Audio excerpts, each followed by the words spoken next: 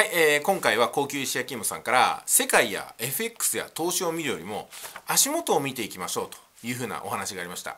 非常に耳の痛い話ですよね。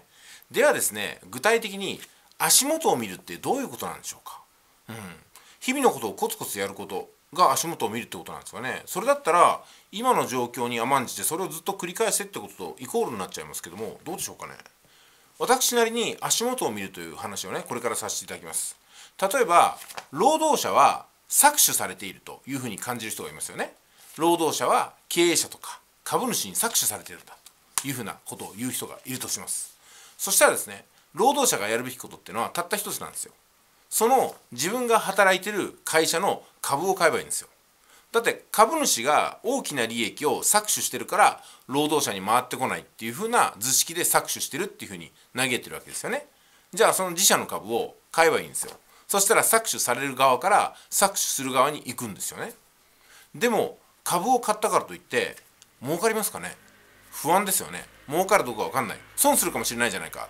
そんな考えがあると思うんですよ。ということは株主は搾取してないってことを自分でみあのまあ何ですかね認めてるってことになると思うんですよ。じゃあどっちが搾取してるのか。それとも株主も搾取してない。そして労働者も搾取してない。みんな儲かってないようなところに自分が飛び込んだのかっていうことなんですよ。こういうふうなことを一つ一つ考えていくことが私はね足元を見るっていうことだと思うんですよ。そうなんですよ。まとめますとですね労働者が自分たちが搾取されてると思うんだったら搾取されてるところから抜け出す選択はあるんですよ。なぜならそこを抜け出せば搾取はされないんですよ。そこにいれば給料はもらえるかもしれませんけども同時に搾取されてるっていうふうに認識をするわけですよね。っていうことは永遠に豊かにならないっていう道なんですよ。さあどうしますか？搾取する側に回るのか？それとも搾取される側に居続けるのか？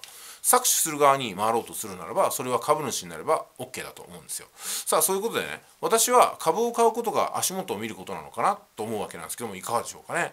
うんまあどちらにしても労働者で居続けることが足元を見るってことには、うん、なかなかならないのかなっていうふうな見解も聞こえてきそうですけども皆さんはいかがでしょうか？それでは本日は以上です。